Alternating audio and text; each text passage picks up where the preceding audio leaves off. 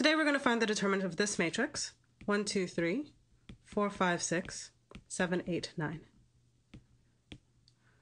When we find the determinant of matrices like this, we can do a cofactor expansion along the first, second, third row, or any column. Today we're going to find the determinant of this matrix using the cofactor expansion along the third column. Okay, let's go. So here's our matrix. 1, 2, 3, 4, 5, 6, 7, 8, 9. We're trying to find the determinant of this, and we're going to use the third column.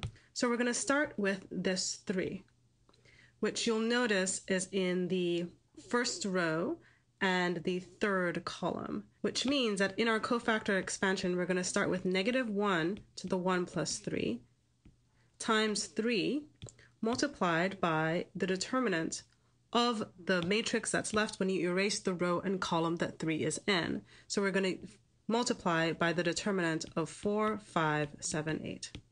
Going down the column, we're going to be looking at 6.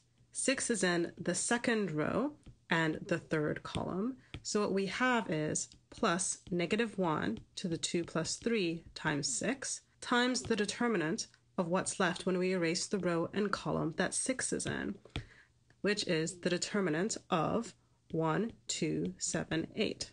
And then we're going to add what we get when we move down the column further. So this 9 is in the third row and the third column, which means that we're going to add negative 1 to the 3 plus 3 times the determinant of what's left when we erase the row and column that 9 is in. So we have 1, 2, 4, 5. All right, now that we've got all this set, let's actually work this out.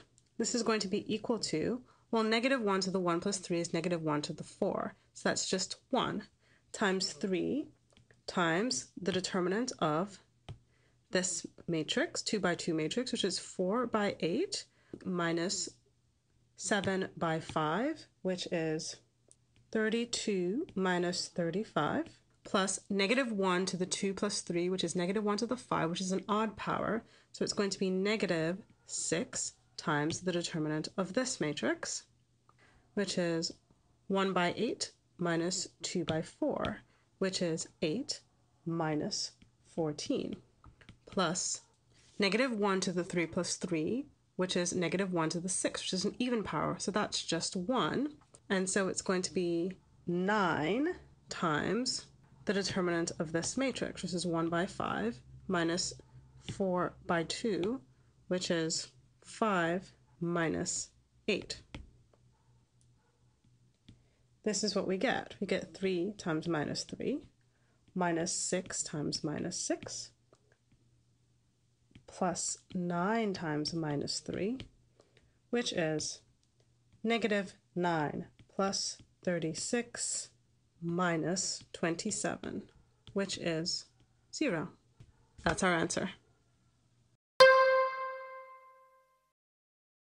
Remember to like and subscribe. New videos every week.